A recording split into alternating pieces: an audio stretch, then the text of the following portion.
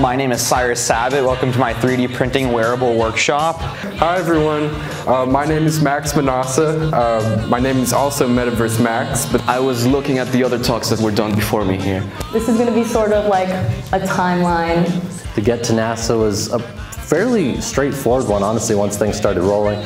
super lucky and fortunate opportunity. It's like lucky and fortunate opportunities kept snowballing, and I was like, yes, okay, keep it rolling, keep it rolling. I'm doing research on distributed deep machine learning, which sounds very fancy. Uh, he who lives by a 3D printer dies by a 3D printer. I have a passion for fashion. You choose to play, and that's what makes it fun.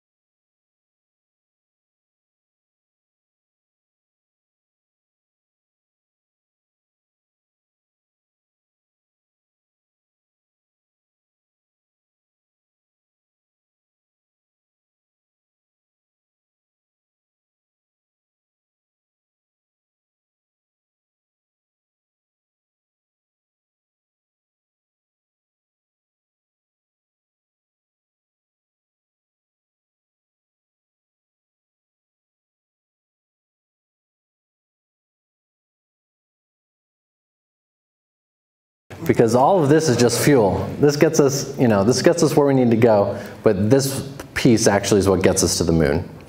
Uh, so this piece is the part that is um, has to be accurate, has to be timely, um, and it's also responsible for the safety of the crew, right? Because the Orion crew capsule, which is this piece right here, with the exception of the safety abort system, this whole piece is where the crew sits. So the crew sits directly on top of ICPS.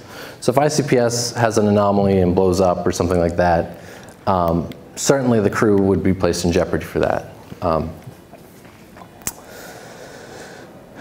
so we have several different configurations of, I, of SLS, and right now we're working on block 1B. And so again, this is just the ICPS sitting inside that adapter, oops, sitting inside that adapter, uh, waiting basically until it gets to orbit before it does its uh, interjection burn. Uh, these are some photos that I was able to take um, that were available for public release. I wanted a closer photo, but they, they're kind of restrictive on what I could release and what I couldn't release. Um, but essentially just a breakdown here, this whole tank that you see, that whole like upper part, that's all fuel. That's liquid hydrogen, liquid oxygen tanks in there. And then these little bottles you see on the outside, these little red bottles are probably hard to see where you're at. Those are hydrazine bottles. We use hydrazine because it's pyrophoric, so all, we don't need any sort of machinery to ignite that. We just open it up to the atmosphere or lack thereof if it's in outer space um, or low Earth orbit, and it'll automatically ignite and use those as thrusters to get where we need to go. So there's no actual machinery there. It's just a matter of fact of opening up the right valves in the right timing. And the hydrazine will automatically ignite and get us where, kind of position us where we need to go. And then you have the RL-11 engine, which does the final um, thrust to get us to the moon. This is it in its compacted stage, so it's got it's got a nozzle cone that actually extends out much further than that, uh, that can uh, gimbal, so it can go up and down and back and forth and actually guide the, the shuttle where it needs to go, or, or guide the ICPS where it needs to go. So that's currently what I've been working on, and I'll sh show you this last slide of it. So this is from the Artemis 1 mission, and so this is the only photo I could get, or only video I could get um, of it actually in action. So this is the LVSA being separated from the R11. This will extend called the NEDS deploy. This will extend and then begin to gimbal. And once it's able to do that, it can guide the uh, spacecraft to the moon. Um, I guess there's limited room for cameras up there. Um, so this is just, um, before I get in, so I had worked on ICPS, told you about ICPS, let's talk a little bit about kind of where we see the future of this stuff going. So, you know, the Artemis 1, first human uh, spacecraft to the moon, that's now Artemis 2, obviously this is a little outdated.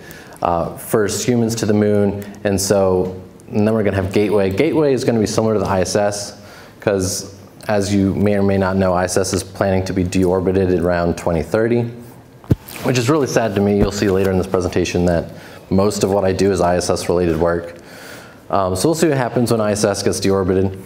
But in its place, they want to put what's called the Lunar Gateway, which will be a habitat system that goes instead of around low Earth orbit, goes around lunar orbit, um, and will provide like a launch platform to go out to places like Mars and things like that.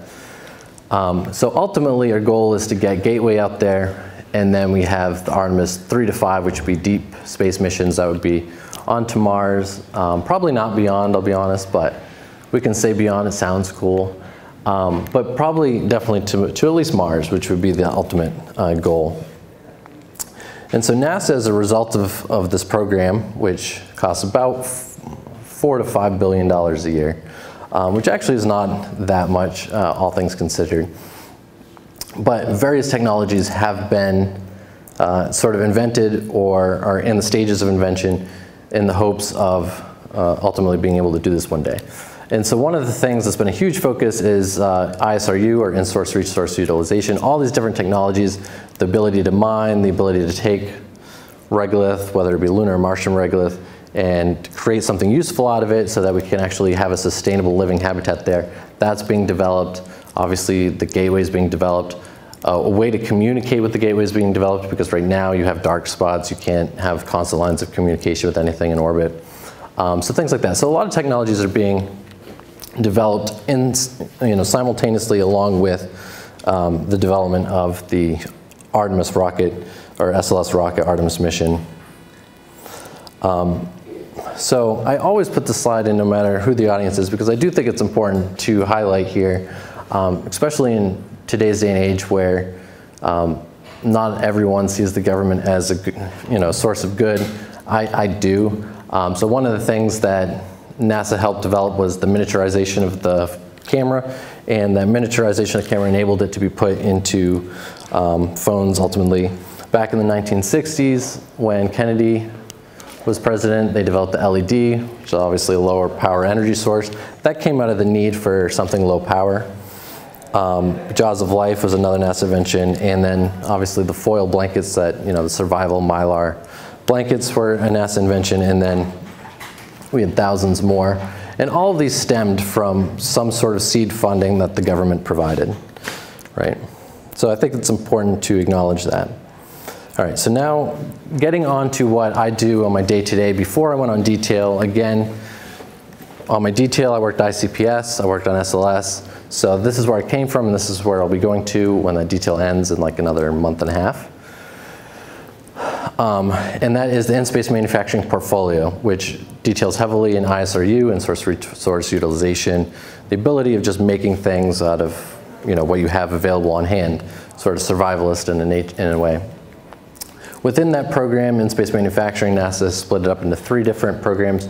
You have electronics manufacturing, they can do like uh, printable cortisol sensors to look for stress in the astronauts.